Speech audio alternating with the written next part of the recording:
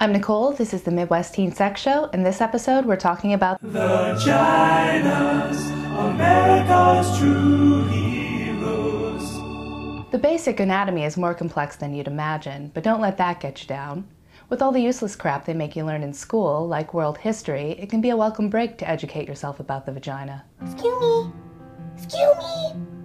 Mm, down here. Vagina? Hi. Hey, we need to talk. Yeah, later. No, now. You've been ignoring me all your life and it's not fair. I'm lonely. You're weird and gross. No, I'm not. I'm beautiful. I'm the source of life and good times. Good times are for sluts. Knowing your body doesn't make you a slut. It makes you awesome. So touch me. Feel me. Put a dick in me. Put two dicks in me. Outside of your girly parts are technically called the vulva, and the internal parts are the vagina. You may have noticed that we and most awesome people call the whole thing the vagina, and we're okay with being wrong. If you want to learn more sciency names for this stuff like labia majora, Oz, hymen, just look at this diagram and memorize it. Okay, I understand I got, I got roommates, but why do I gotta share everything? Every time I bring a man up in here, he gone. Every time I bring food up in here, it gone.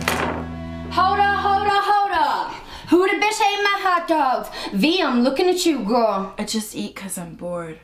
I'm sorry, those were yours? Damn straight they were mine. Apparently what's mine is yours, y'all. I can't seem to bring a piece of meat up in this sh- I feel so empty inside. without you shoving it down your throat. Stop fighting! Tori, girl, I love you, but you're way too sensitive. They just rubbed me the wrong way. And you, stop eating my mother. Rah rah. I don't know what you're doing here, but you're pissing me off. It's what I do.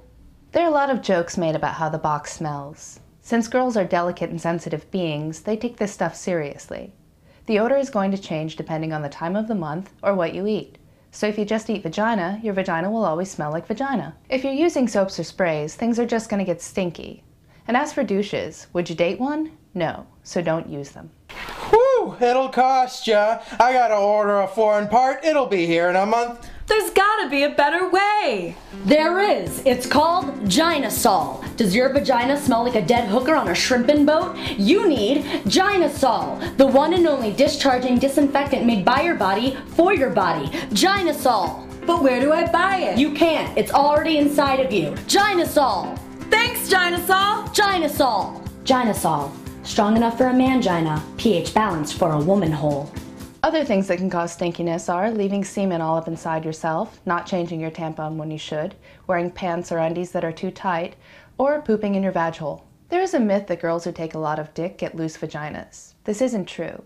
While having lots of babies will eventually change the size, it also increases blood flow to your genitalia. So let's all get knocked up and have hella good sex. Don't be ashamed of the look of your vulva. If you've seen graphic porn and things don't seem to match up, just check out some Georgia O'Keeffe paintings and you'll soon learn that all of our special flowers look a little bit different. That's it. I'm cutting them off. Hard day at learning place? Everyone makes fun of me. My labia are huge and I run like a boy. They're jealous. You run like mad, like real women should. In Vagistonia, they measure value of women by length of labia. You should be proud of your eight inches. This is America. On your America. In Vagistonia, I rope cattle with my labia. I save boys from well. Mom, my labia- You ever meet man who think dick too big? Lubrication varies from lady to lady, with some needing a little extra and some needing to put down the sawdust. If your vagina is as dry as a cow's udder come wintertime, we recommend a water based lubricant free of scents and flavors.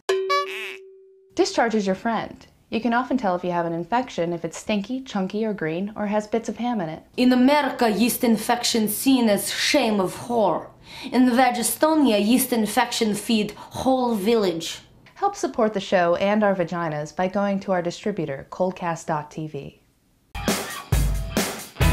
Jen Leary is an incredibly intelligent girl who has this kind of nerdy, techie, web savvy side, but she's also very social and enjoys going out. It's going to be a highly entertaining show. There's a lot of interesting internet world techie stuff, but there's also a lot of drama and there's there's conflicts that everybody can relate to.